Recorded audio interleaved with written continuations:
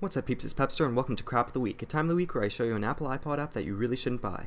This week's crap of choice is MyOpener, an app that shows you what opening a bottled beverage would look like.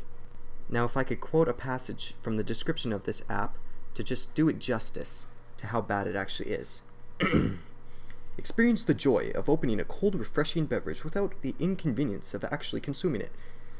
So yeah, I think that uh, covered everything. That's all it does. See you next week.